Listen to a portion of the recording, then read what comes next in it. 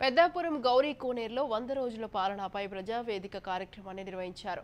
స్థానిక ఎమ్మెల్యే నిమ్మకాయల చినరాజప్ప ఈ ప్రోగ్రాంకి చీఫ్ గెస్ట్గా హాజరయ్యారు. ఇక వంద రోజుల ప్రభుత్వ పరిపాలన విధానాన్ని ప్రజలకు వివరించారు. ఎవరికి ఏ సమస్య ఉన్నా ప్రజావేదికలో చెప్పవచ్చని తెలిపారు.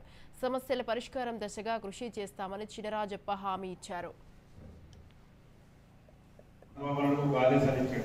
మీరందరూ కూడా ప్రజల దగ్గరికి సమస్యలు ఏం చేసామో చెప్పండి. సమస్యలు తెలుసుకోండి. సమస్యలు పరిష్కారం చేయండి అని చెప్పి మాకు ఆదేశించారు. దానికి సంబంధించి డిపార్ట్మెంట్ అన్ని కూడా ఇక్కడే ఉన్నాయి.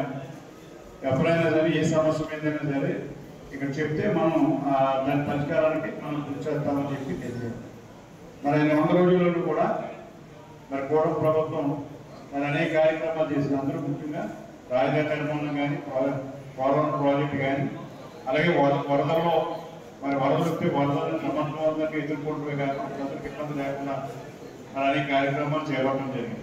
అలాగే హామీ ఇచ్చిన హామీ కూడా మరి పెన్షన్ కానీ అలాగే అన్న క్యాంటీన్ కానీ ఇవన్నీ కూడా ఇచ్చింది. తర్వాత ఇవ్వడానికి కూడా రేపు గ్యాస్ మరి దీపావళి ఇవ్వాలని చెప్పి నిర్ణయించడం జరిగింది. మహిళ బస్ ముస్లిం బస్ కూడా అది కూడా డేట్ ఇచ్చింది దాన్ని కూడా ఇవ్వడం జరుగుతుంది.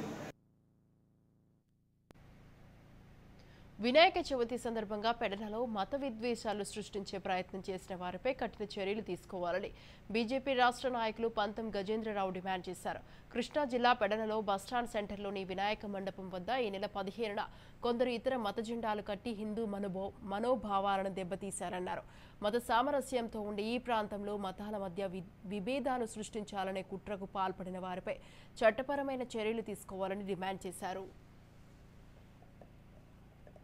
సెప్టెంబర్ పదిహేనో తారీఖు వినాయక చవితి సందర్భంగా పెడన బస్టాండ్ సెంటర్లో వినాయక చవితి వేడుకలు చేసుకుంటుంటే వినాయక చవితి వేడుకల్లో మరి ఇంకో మతం వారు వచ్చి జెండాలు కట్టి అక్కడ మట్ట ఘర్షణలు రెచ్చగొడుతున్నది చాలా బాధాకరమైన విషయం.